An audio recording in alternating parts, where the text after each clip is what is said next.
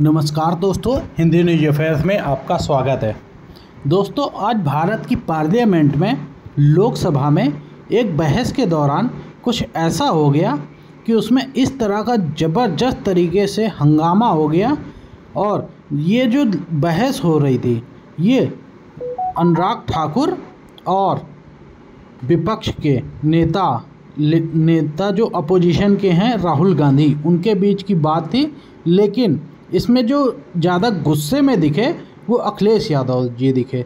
दरअसल बात यह है कि अनुराग ठाकुर ने ये बोला कि जिनको अपनी जाति का पता नहीं, वो गन्ने की बात करते हैं। इस तरह की वर्डिंग्स अनुराग ठाकुर ने यूज़ करी। अनुराग ठाकुर जो भारतीय जनता पार्टी के सांसद हैं।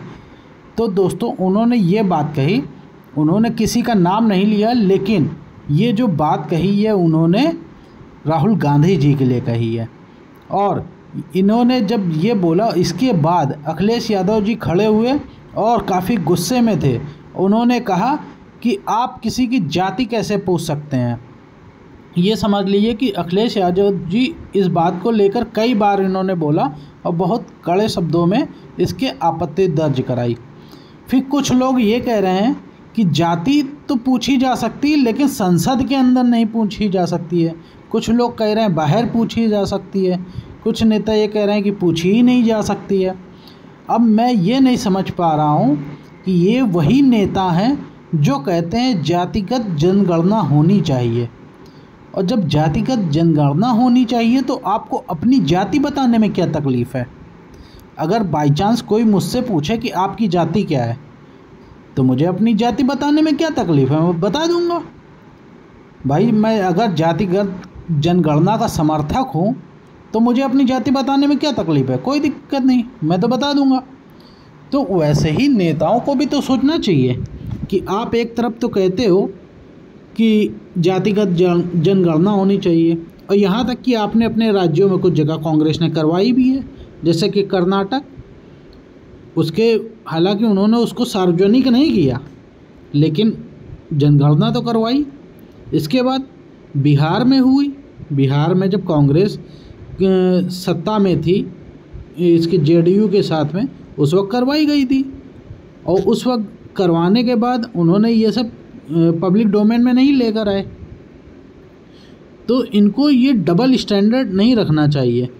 और अखिलेश यादव जी काफ़ी नाराज़ हो रहे थे। इनको भी नहीं होना चाहिए, क्योंकि इनकी तो राजनीति ही पीडीए पे है।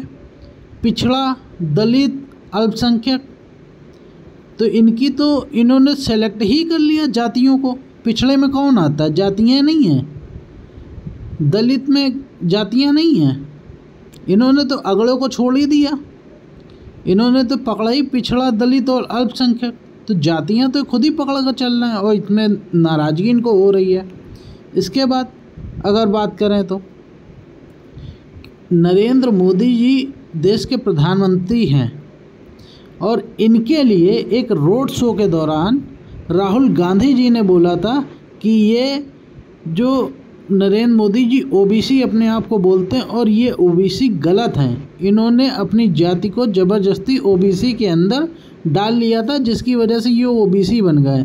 ये नकली ओबीसी हैं। ये राहुल गांधी जी ने बोला था। लेकिन जब बाद में सारी चीज़ें हुई इनके बयान के बाद तो पता लगा कि नरेंद्र मोदी जी के ऊपर जो भी बात राहुल गांधी जी ने कही है, वो सब गलत बोली है। नरेंद्र मोदी जी की जो जाति है, वो ओबीसी में आती है और वो ओबीसी हैं। लेकिन राहुल गांधी जी को ये शायद उस वक्त पता नहीं था, या गलत बोल गए। ऐसी अगर किसी को लगता है कि जातिगत जनगणना नहीं होनी चाहिए, तब तो वो ये बात बोले कि हाँ ठीक है, जाति पूछना गलत है। और फिर अनुराग ठाकुर ने किसी का नाम नहीं लिया। हाँ लेकिन कुछ चीज़ों में ऐसा होता है कि इन सब चीज़ों से बचना चाहिए।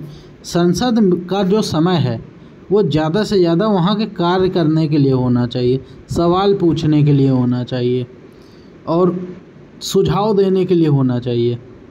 इसलिए नहीं होना चाहिए कि किसने किसकी जाति पूछी, किसकी नहीं पूछी और उस पर हंगामा हो जाए और जो समय हो वो वॉश आउट हो जाए। इसलिए नहीं होना चाहिए। तो कहीं ना कहीं इन राजनेताओं को गंभीरता के साथ सोचना चाहिए कि जो जनता का पैसा होता है, वो बहुत ही मुश्किल से आता है। और वो पैसा दिया जाता है, वो पैसा लगता है। लोगों के टैक्स पे, जो टैक्स पेयर हैं, उनके ही अमाउंट लगाया जाता है। इसमें कोई सरकार अपने घर से नहीं लेकर आती है। तो इन सब चीज़ों को भी सोचना चाहिए कि इन सब बातों में कुछ नहीं रखा है। देश के डेवलपमेंट पे बात करनी चाहिए और इस पर सोचना चाहिए कि और हम कैसे डेवलप हो सकते हैं। क्या उसमें परेशानियाँ हम उनको दूर करें? क्या अच्छाइयाँ उनको और बढ़ाएँ? ताकि देश को एक अच्छा रिज़ल्ट मिल सके। ये सोच होनी चाहिए, लेकिन अनफॉर्चुनेटली ये सोच विपक्ष के अंदर तो कम से कम नहीं दिख रही है। हंगामा करने का क्या मतलब बनता है पता नहीं। अगर किसी ने आपकी जात पूछी थी तो आपको बता देना चाहिए था। और इनको अपनी जाति को सामने लाने पे तकलीफ़ क्या है? किसी भी पार्टी के नेता को। अगर आप जातिगत जनगणना चाहते हो, आप चाहते हो कि ये होना चाहिए तो अपनी जाति बताने में तो कोई तकलीफ़ होनी ही नहीं चाहिए। कभी नहीं होनी चाहिए। ठीक है दोस्तों, अब इस पर कुछ और अपडेट आएगी तो मैं आपके लिए अपडेटेड वीडियो लेकर आऊँगा। धन्यवाद।